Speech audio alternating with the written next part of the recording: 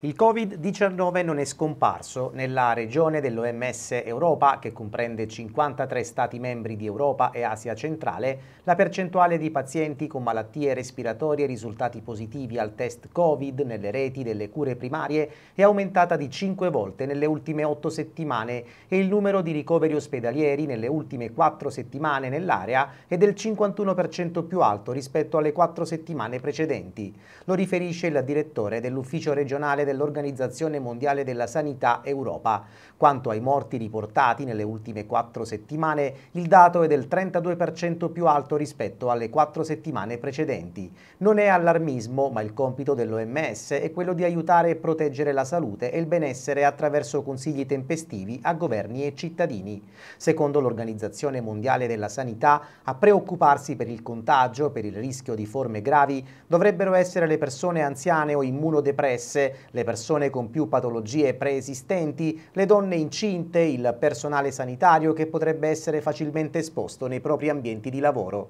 Alla luce dei dati che documentano l'aumento dei casi in Europa, l'OMS ricorda che gli strumenti per ridurre il rischio di malattia grave ci sono, rimanere aggiornati con le vaccinazioni Covid, garantire un rapido accesso al trattamento antivirale per le persone ad alto rischio, adottare precauzioni sensate tra cui indossare dispositivi di protezione per le persone particolarmente particolarmente vulnerabili in spazi chiusi affollati con un'apposita mascherina monouso respiratoria, tenersi lontani dagli altri se si è affetti da Covid o si sospetta di esserlo, adottare precauzioni se si deve interagire con persone che hanno o si sospetta abbiano contratto il Covid, lavarsi regolarmente le mani, misura di controllo delle infezioni veramente efficace. Tutti coloro che sono ad alto rischio di gravi conseguenze da Covid dovrebbero sottoporsi a un vaccino aggiornato ogni anno. Inoltre coloro che sono ad altissimo altissimo rischio, compresi gli anziani e le persone immunodepresse, dovrebbero sottoporsi a un vaccino aggiornato ogni sei mesi. I vaccini salvano vite, conclude il direttore dell'ufficio regionale dell'Organizzazione Mondiale della Sanità per l'Europa.